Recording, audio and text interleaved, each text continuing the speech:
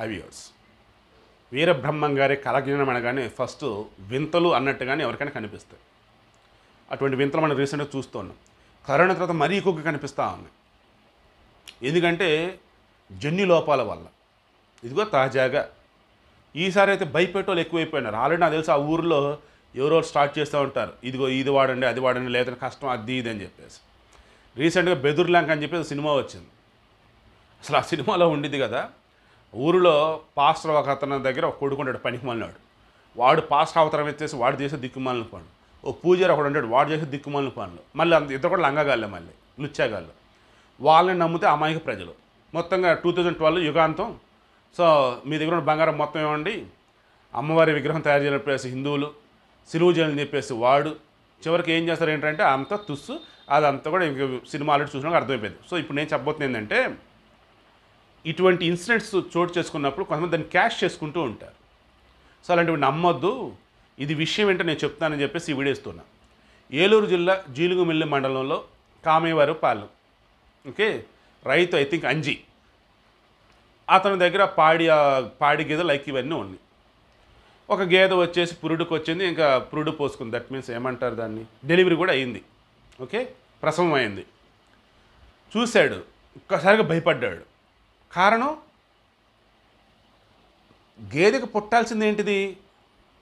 దున్నపోతో లేదన్నప్పుడు ఆడపిల్ల అన్నప్పుడు ఆడగేది అన్నట్టు. సో దాన్ని ఏమంటారు? పేరు నాకు కరెక్ట్ ఐడియా రావట్లేదు. సో పసి దూడ. రైట్ దూడ. దూడ పుట్టాల. పెరిగిన తర్వాత ఇది దున్నపోత అయితే లేదంటే బెర్రె అయింది అఫ్కోర్స్ పుట్టుకతోనే తెలిసిద్ది అనుకోండి ఏ విషయం ఆడైనా మగైనా. సో ఆ దూడ. బట్ చూశాడు భయపడ్డాడు.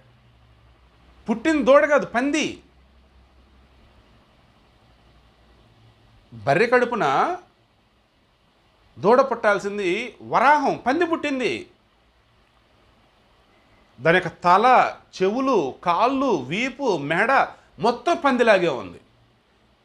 చూస్తేనే దూడలా కనిపిస్తుంది కానీ పందిలాగే ఉంది మొత్తం పందిలాగే ఉంది. పుట్టింది బర్రె కడుపున పుట్టాల్సింది వచ్చేసి దూడ పుట్టిందేమో పందిలాగా ఉంది అచ్చం పందే ఇంకా. దెబ్బగా బెత్తరపేడు వ్యవసాయ అధికారులకి వ్యవసాయ అధికారులు కాదు వెటర్నరీ అధికారులకి ఆ ఊర్లో ఉన్న వాళ్ళకి తెలిసింది. దాంతో మొత్తం వచ్చి చూశారు చూశారు. ఇంకేముంది వింతలు అమ్మో ఇంకా ప్రపంచం అంతమైపోతుంది. ఇంక త్వరలో చచ్చిపోబోతాం అని కొంతమంది. ఇదంతా జగన్ పాలన వల్ల ఇదిగో ఇటువంటి వింతల విశేషాలు అండ్ ఇటువంటి దారుణాలు జరుగుతున్నాయి. వామ్మో ఇంక జగన్ కోటేదని కొంతమంది.